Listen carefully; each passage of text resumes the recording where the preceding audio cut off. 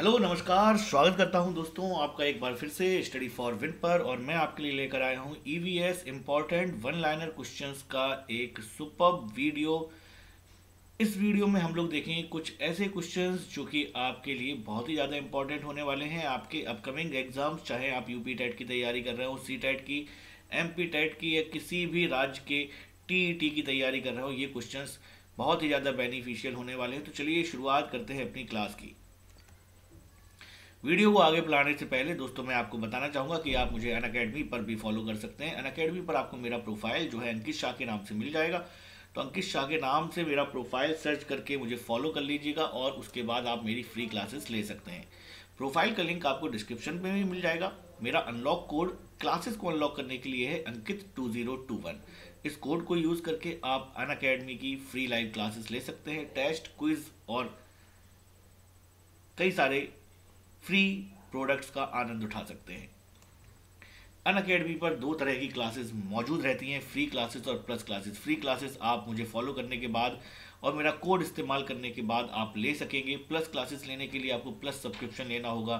Plus subscription में आपको मिल जाएगा complete syllabus unlimited practice test unlimited PDF note और रेगुलर मिल जाते हैं आपको doubt click sessions by top educators अगर आप प्लस सब्सक्रिप्शन लेते हैं तो आपको कुछ एक्स्ट्रा प्लस फीचर्स मिलते हैं, जैसे कि आप अपने फेवरेट एजुकेटर से पढ़ पाएँगे। कंप्लीट एग्ज़ाम प्रिपरेशन आपको मिलेगी रेगुलर डाउट क्लिक सेशंस मिलेंगे full syllabus coverage free test series और हर हफ़्ते आपको वीकली फ्री मॉक टेस्ट भी मिलेंगे, जो कि आपकी तैयारी को बनाएँगे और भी ज़्यादा सिस्टमैटिक और भी ज़्यादा मज़बूत। और हाल ही में 24 तारीख को अन अकेडमी ने एक crack C sorry crack M P 2022 complete batch course start किया है, जहाँ पर EVS English mathematics CDP Sanskrit Hindi की क्लासेस आपको मिलने वाली हैं। अगर आप लोग भी एमपी टेट परीक्षा देना चाहते हैं और मध्य प्रदेश में सरकारी टीचर की नौकरी करना चाहते हैं तो ये बैच आपके लिए लाभदायक हो सकता है। बैच की लिंक भी आपको डिस्क्रिप्शन में मिल जाएगी। Last but not the least ये है मेरा code Ankit two zero two one इस कोड को इस्तेमाल कीजिए और अन अकेडमी की फ्री लाइव क्लास टेस्ट और क्विजेस का फ़ायदा उठाइए और साथ में 10 परसेंट का डिस्काउंट भी मिलेगा जब भी आप कभी प्लस सब्सक्रिप्शन लेंगे। इसी कोड को इस्तेमाल करने से। चलिए देखते हैं आज के क्वेश्चंस कैसे हैं। लास्ट वीडियो में हमने क्वेश्चन नंबर 55 तक कर लिया था। क्वेश्चन नंबर 55 जो कि था कि शौचालय में अप्रिय दुर्गंध आने का कारण कौन सी गैस होती है, कौन सी गैस होती है, जिस वजह से शौचालय में अप्रिय दुर्गंध आती है। तो दोस्तों, शौचालय में अप्रिय दुर्गंध वाली गैस जो थी, वो थी एच टू एस ठीक है? ठीक है, इसके बाद अगले क्वेश्चन की ओर बढ़ते हैं, जो है क्वेश्चन नंबर छप्पन। क्वेश्चन नंबर छप्पन पूछ रहा है कि हाइथीन क्या है? What is hythane? ठीक है? हाइथीन क्या है? तो चलिए देखते हैं, हाइथीन क्या है? हाइथीन एक उच्च कोटि का ईंधन है। उच्च कोटि का ईंधन, ठीक है हाइथीन क्वेश्चन नंबर संतावन देख लेते हैं। इको मार्क क्या है? तो इको मार्क क्या होता है? पर्यावरण अनुकूलन के लिए इको मार्क दिया जाता है। क्वेश्चन नंबर अंठावन एग मार्क बहुत बार पूछा जाता है टीईटी में एग मार्क क्या है? तो एग मार्क जो है, खाद्य सुरक्षा अनुकूलन। बेसिकली जो फ़ूड आइटम्स आते हैं ना पैकेट में बंद उनको एग मार्क दिया जाता है और उससे क्वालिटी जो है पता चलती है कि जो फ़ूड प्रोडक्ट्स हैं, उनकी क्वालिटी क्या है। एग मार्क दिया जाता है खाद्य सुरक्षा अनुकूलन के लिए। चलिए क्वेश्चन नंबर उनसठ की ओर बढ़ जाते हैं। बहुत ही अच्छा क्वेश्चन है। एक सींग वाला गेंडा कौन से नेशनल पार्क में पाया जाता है या कौन से नेशनल पार्क के लिए प्रसिद्ध है? तो राइट ऑप्शन हो जाएगा। यहाँ पर थोड़ा सा गलत लिखा हुआ है तो मैं आपको बता देता हूँ राइट ऑप्शन क्या होगा। राइट ऑप्शन होगा काजीरंगा। काजीरंगा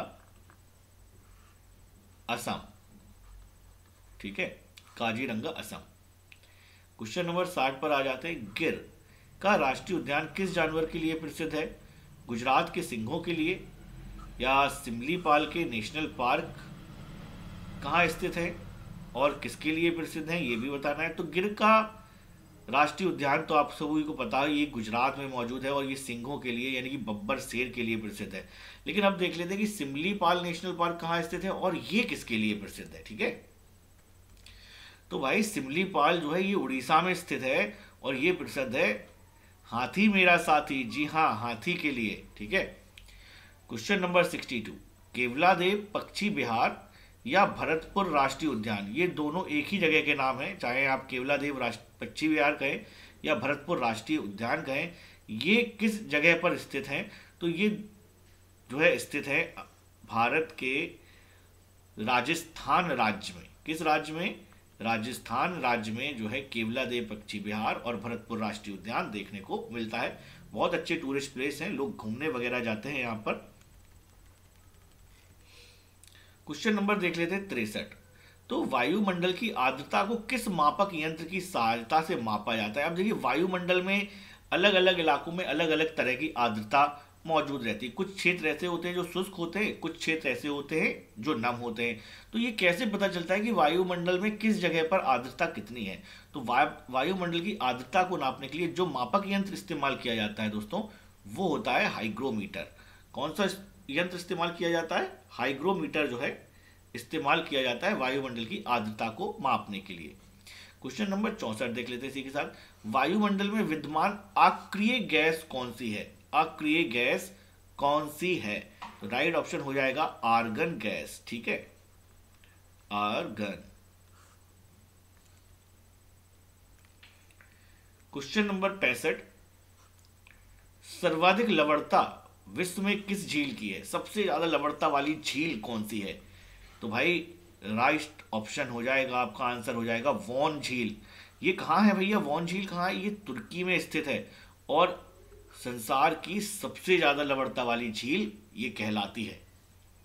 क्वेश्चन नंबर छह देख लेते चोब मंडल में प्रति एक किलोमीटर की ऊंचाई पर जाने पर कितना तापमान घटता है? एक किलोमीटर की ऊंचाई पर जाने में कितना तापमान घटता है? तो उत्तर है छह दशमलव चार डिग्री सेंटीग्रेड। इसीलिए तो ऊँचे ऊँचे पहाड़ों पर बर्फ़ जमी रहती है दोस्तों। और लोग गर्मियों में हिल स्टेशन पर भी घूमने जाते हैं, क्योंकि पहाड़ जो है ऊँचे होते हैं और ऊंचाई के साथ तापमान गिरता जाता है।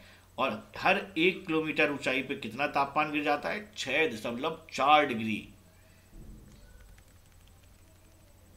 Question number sixty seven पर आ जाते क्योटो सम्मेलन का आयोजन किस वर्ष और कहाँ हुआ था? क्योटो सम्मेलन का आयोजन किस वर्ष और कहाँ हुआ था? तो राइट ऑप्शन हो जाएगा option number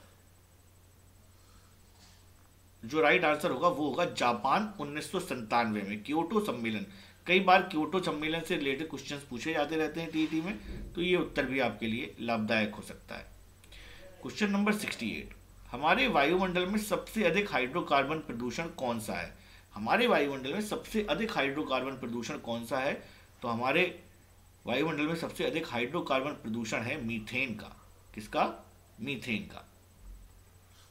question number sixty nine कौन सा देश सर्वाधिक ग्रीन हाउस गैसों का उत्सर्जन करता है? कौन सा देश सर्वाधिक ग्रीन हाउस गैसों का उत्सर्जन करता है?